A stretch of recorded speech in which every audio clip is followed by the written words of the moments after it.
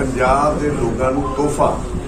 Captain Amarinder Singh ਹੋਰਾਂ ਦਾ ਮੁੱਖ ਮੰਤਰੀ ਪੰਜਾਬ।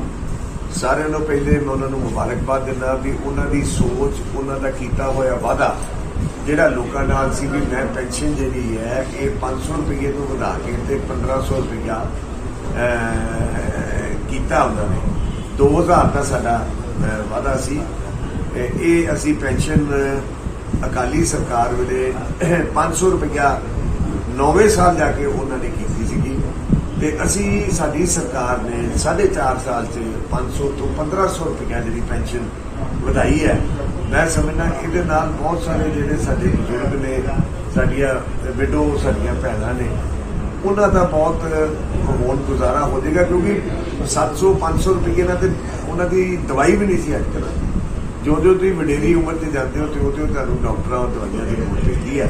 ਤੇ ਮੈਂ ਸਮਝਦਾ ਬੜੀ ਅੱਛੀ ਸੋਚ ਹੈ ਕੈਪਟਨ ਸਾਹਿਬ ਦੀ ਵੀ ਉਹਨਾਂ ਨੇ 1500 ਰੁਪਇਆ ਪੈਨਸ਼ਨ ਕੀਤੀ ਹੈ।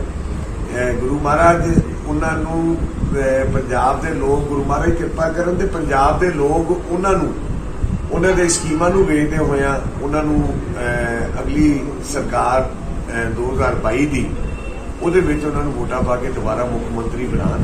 ਤੇ ਇਹੋ ਜਿਹੜੀ ਪੈਨਸ਼ਨ ਹੈ ਅਸੀਂ ਪਹਿਲੇ 6 ਮਹੀਨਿਆਂ 'ਚ 1500 ਤੋਂ 2500 ਕਰੀਏ।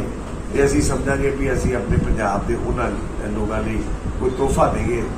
ਸਾ ਕਾਂਗਰਸ ਦੀ ਹਮੇਸ਼ਾ ਹੀ ਇੱਕ ਸੋਚ ਰਹੀ ਹੈ ਕੈਪਟਨ ਅਮਰਿੰਦਰ ਸਿੰਘ ਦੀ ਹਮੇਸ਼ਾ ਹੀ ਇੱਕ ਸੋਚ ਰਹੀ ਹੈ ਵੀ ਜਿਹੜੀ ਆਮ ਜਨਤਾ ਨੂੰ ਖਾਸ ਕਰਕੇ ਲੋੜਵੰਦ ਨੂੰ ਹਮੇਸ਼ਾ ਉਹਨਾਂ ਨੇ ਉਹਨਾਂ ਦਾ ਜਿਹੜਾ ਅਹ, ਰਾਹਤ ਦਿੱਤੀ ਹੈ। ਚਾਹੇ ਉਹ ਕਿਸਾਨੀ ਦੀ ਆਪਾਂ ਗੰਨੇ ਦਾ ਤੁਸੀਂ ਵੇਖ ਲਿਆ ਤੇ ਅੱਜ ਦੀ ਪੈਨਸ਼ਨ ਦਾ ਦੇਖ ਲਿਆ ਇਹ ਲਗਾਤਾਰ ਪੰਜਾਬ ਦੇ ਲੋਕਾਂ ਨੂੰ ਇਹ ਬੈਨੀਫਿਟ ਮਿਲ ਰਿਹਾ ਹੱਕ ਤੇ ਸੱਚ ਦੀ ਖਬਰ ਲਈ ਲਾਈਕ ਤੇ ਸਬਸਕ੍ਰਾਈਬ ਕਰੋ ਪੰਜਾਬ ਦਾ number 1 digital news channel the fact news